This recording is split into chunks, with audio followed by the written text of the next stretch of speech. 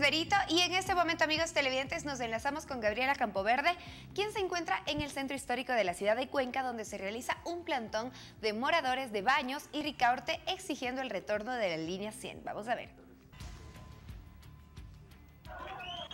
Amigos televidentes, muy buenos días. En este momento me encuentro en los exteriores de la alcaldía de Cuenca, en donde moradores de, de los barrios Ricaurte, Machángara y están haciendo lo que piden es que el alcalde de Cuenca le reciba y poder dialogar sobre eh, la eliminación de la línea 100. Lo que ellos piden es que la línea 100 retorne la ruta que ellos tenían. Actualmente la, línea 100 está habilitada pero parcialmente, es decir, está bloqueada y puede solo circular la avenida de las Américas.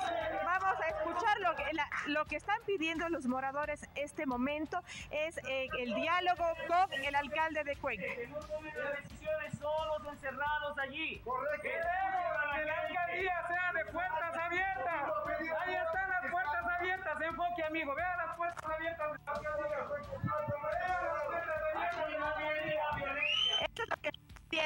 Ellos querían ingresar a hablar con el alcalde de Cuenca, sin embargo, se, se la puerta para Vamos, vamos a dialogar con el presidente de la Asociación de, de Barrios de Ricaurte para que nos comente cuál es la situación actual. Buenos días, coméntenos, ustedes piden el retorno de la línea 100.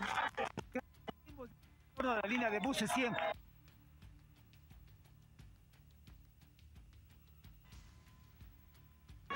Luego eh, encuestas. Los presidentes los, y los vocales de las juntas parroquiales de Baños y de Ricaute realizaron encuestas. Son más de 900 encuestas de los que tenemos conocimiento y el 90% despedían el retorno de la línea de buses 100. se sienten perjudicados de este momento porque no tienen el acceso como tenían anteriormente a su sector?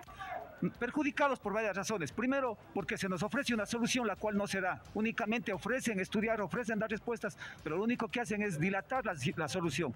En segundo lugar, no tenemos un auténtico servicio de, de, línea de buses, un servicio que anteriormente la línea de buses sí lo daba. La Cámara de Transporte, ante estos engaños constantes, retoma el servicio de bus, atendiendo la petición de los ciudadanos de Ricaute y de Baños. Al, al, realizar el recorrido, se les impide que realicen el trayecto anteriormente que tenían de la línea de bus 100 y ahora se les multa. Eso es un, un abuso, una arbitrariedad. Creo que el señor alcalde debería cambiar de asesores o de directores departamentales. Primero, el retorno de la línea de buses 100 en el trayecto que inicialmente tenía. Y en segundo lugar, que de ser una negativa, que nos digan en base a qué estudios, no que nos pidan a nosotros los estudios. Ellos son los que tienen que demostrarnos con estudios a la ciudadanía por qué no es factible esa línea de bus. Y no nos, obliguen a los habitantes de Baños de Ricaute a tomar el tranvía, porque la solución, eh, que es un perjuicio económico para el Cantón Cuenca, no tenemos solamente que ser los, ciudadanos de Ricaute y de Baños los que tengamos que subsidiar ese. Continuarán con algunas medidas como las marchas pacíficas. Realizaremos acciones judiciales y marchas periódicamente. Luego de las elecciones para. Muchísimas gracias. Importante también la transporte de Cuenca es la que más aporta económicamente a la, ramia, a la rama del transporte.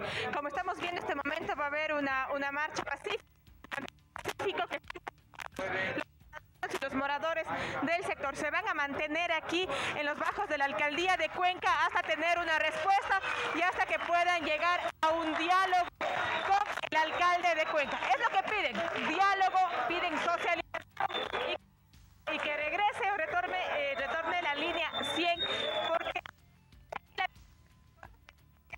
en Baños y Ricaurte con este servicio de transporte. Eso es lo que yo les puedo comentar hasta el momento desde los exteriores Matthew.